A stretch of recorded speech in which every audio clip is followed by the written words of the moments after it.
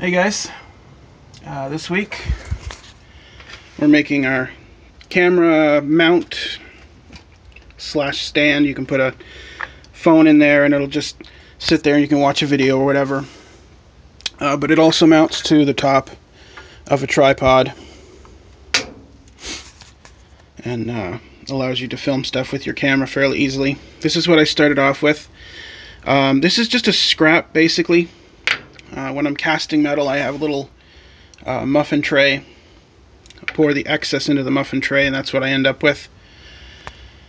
So, we are going to turn this into this.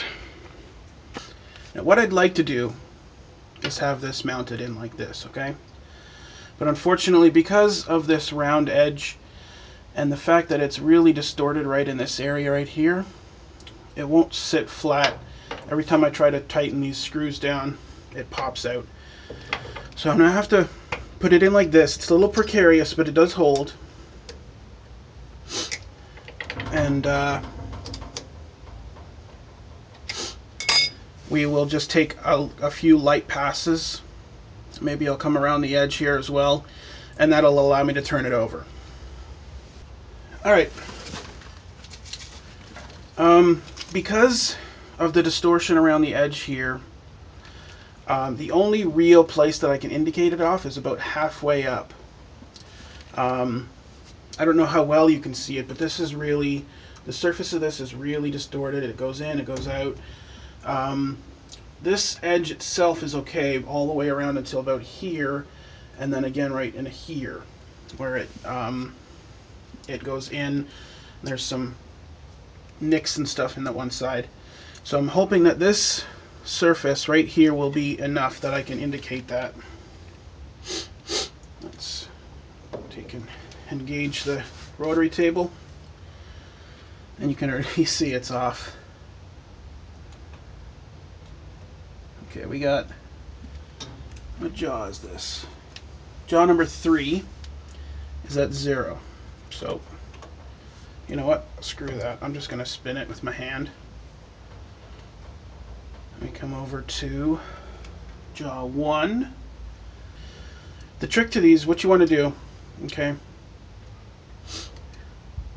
if you want to move this direction, you want to tighten this one, um, well, leave this one sort of snug, okay? So you're going to split the difference. We'll call that good enough. And then you're going to want to tighten this one up just till it's snug. And then we can spin that around again. We will indicate zero. Go around. Whoa, that's not right.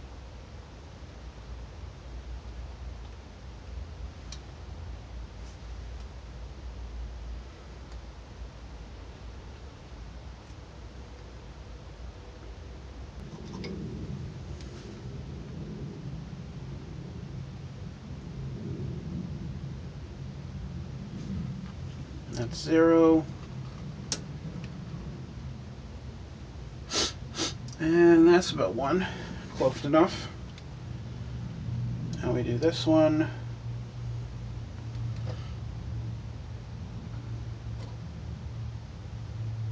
Oh, I'm running out of travel here. Alright, we got zero on this side. We've got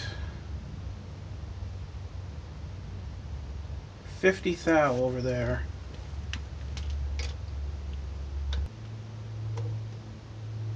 So let's call that about half. It's a little bit more than half, but I can live with it. And then we, well, I want to zero it first.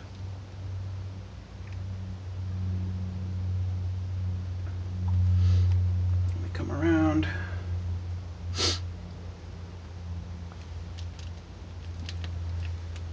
And we're only out by five. All right, now let's see our overall spin. Uh, we get a little high right there. That's back to zero.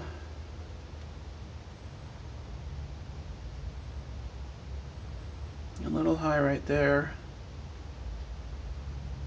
And a little high right there.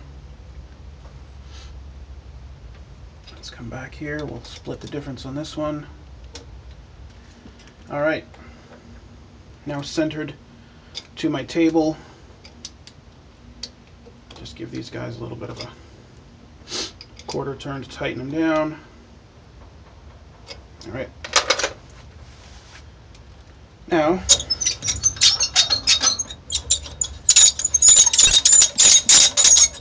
you know what? I'm going to go get some grease for these handles. All right, got some all-purpose grease on there. And they sound a whole lot better. Although I still have to anchor this machine and shim it down. Um, quick note, I am I am wearing safety glasses. I'll tilt this here so you can you can see I am wearing safety glasses. Um, however, I'm not wearing gloves. Um, but like I said, I uh, I do have gloves and I do wear them occasionally. So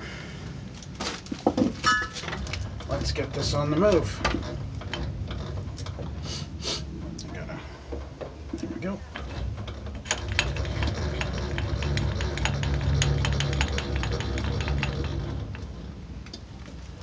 make sure our spindle's locked. Don't want that floating around. Okay. Now this thing takes forever to spin. It's a 90 to 1 ratio, which means that for every time I go around it goes 4 degrees. So it's a little bit of a pain. However, it's very accurate when I need it to be. Alright, um, I went to adjust the camera a little bit higher to give you a better angle and found out that this handle would have been right in the way of all the work I was doing. So I pulled that off and we're going to give this another shot.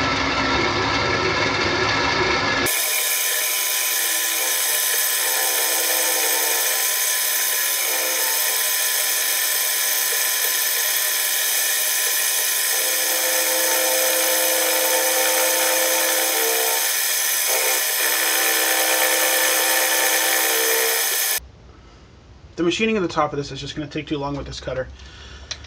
So I'm going to do the edge, and then I'm going to come back with something a little bit bigger.